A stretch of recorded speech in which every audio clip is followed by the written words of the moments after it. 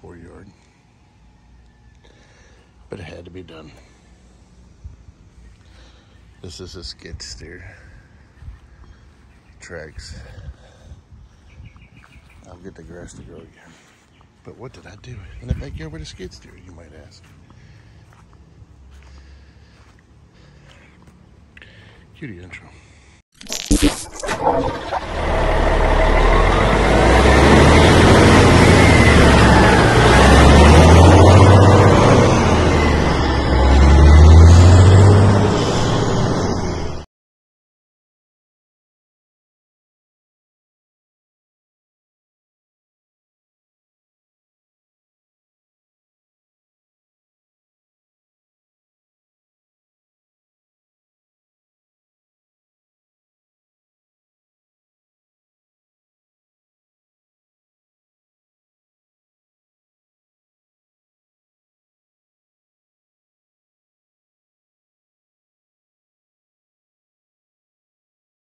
All right, I showed you pictures of progress he's done. This is a 12 by 12 pad.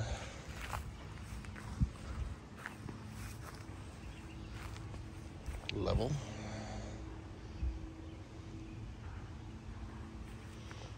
The backyard's taking a beating. He's gonna come back Monday to clean up backfill.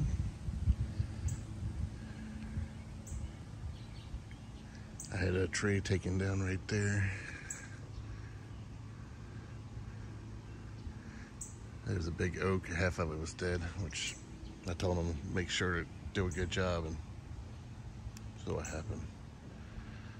So I guess see if anybody wants some oak. Yeah. I have a friend who wants some, I think. So, like I said, this is a 12 by 12 pad. A little deeper on the for footers all the way around. Our HOA is requiring us to have a what's getting built right here on a concrete slab. It's going to be a 12 by 12 shed. A double door here window here and no other windows. And on the roof, it's gonna have roof facing this way and a dormer on this side. So it's gonna look pretty good. So I needed concrete for this. And I'm like, while you're here, what's add on? Let me show you what I'm adding on. But my back patio was 10 feet by 14 feet. It was too tight to sit around the table on either side. So I had another four foot added.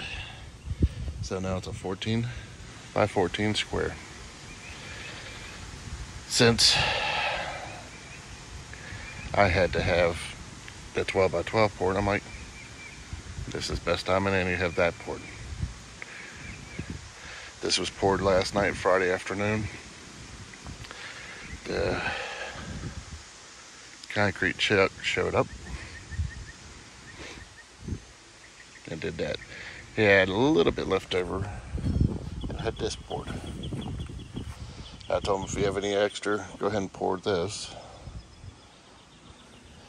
My wife has this little tote deal with pillows and whatever for out here around the chairs. So it's gonna sit there all nice and pretty. He's gonna come by tomorrow or Monday, I mean, today's Saturday, and clean up, bag fill.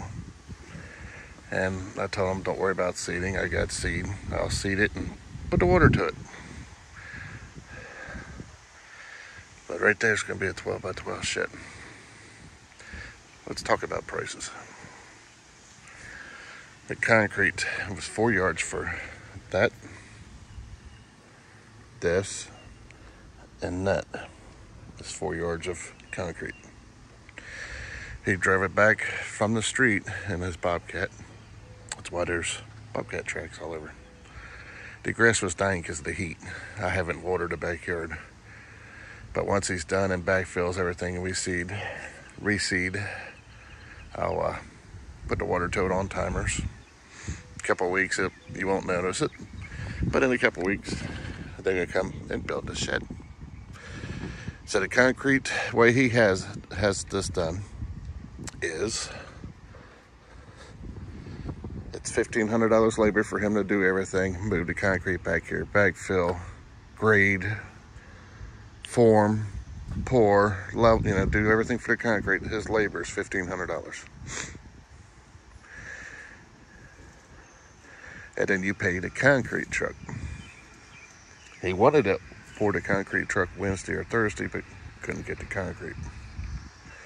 So he was able to finally get it Friday afternoon. And when we had to call the concrete company and pay, he ordered it, we just had to pay for it. He does that so you don't say he's going to upcharge you for concrete. You're paying the concrete directly, the concrete truck. For four yards of concrete getting delivered, was $732 and change. So $733 for four yards of concrete. Like I said, for the 12 by 12 pad, a 4 by 14 foot pad, and this little pad behind me. It's $733 for four yards of concrete here in Statesville, North Carolina. And for him doing all the work, using this Bobcat, leveling everything up, forming it. That's supposed to be level and square. We'll see. Uh, yeah, was $1,500 labor. The end of July, we're going to have that shed built. Here's what the shed's going to look like real quick.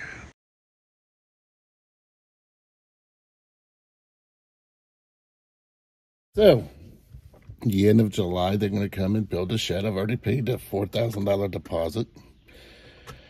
The shed's going to cost right at 75 to $8,000. It depends if it's level and square. If it's level and square, we save close to $500. Like I said, it's going to be built the end of the month, end of July. It's when we're on schedule to build it. But we'll see that when it happens. Editing this, this video, I just wanted to give you what I have to do. Per the HOA, it has to be vinyl sided. That's an extra $1,500 on the purchase of my shed for vinyl siding. Instead of doing 24 on center, I'm doing 16 inch on center studs. So that's like an extra 110 bucks. Why not? It's a sturdier building. The better shingles are like a hundred some dollars because they're gonna match the house. That just can't be plain. It's gonna be that fancier shingles. That's an upcharge.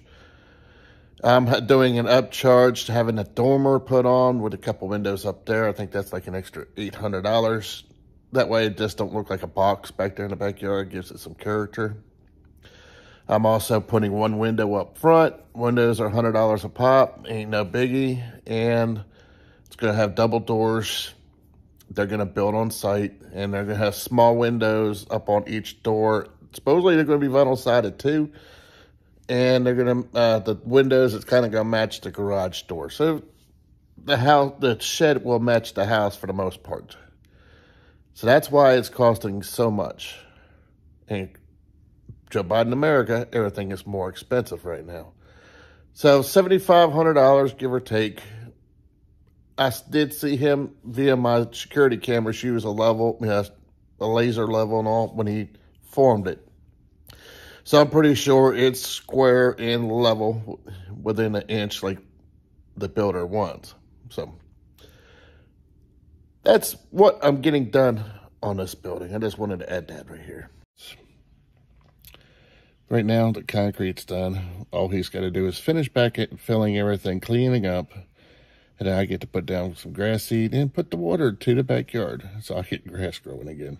It was starting to die off because we've had a hot, dry summer here at the house.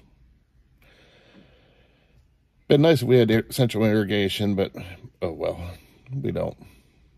I'll have put a couple garden sprinklers out and water the whole yard at once, set it on timer, don't I won't have to worry about it, or the wife.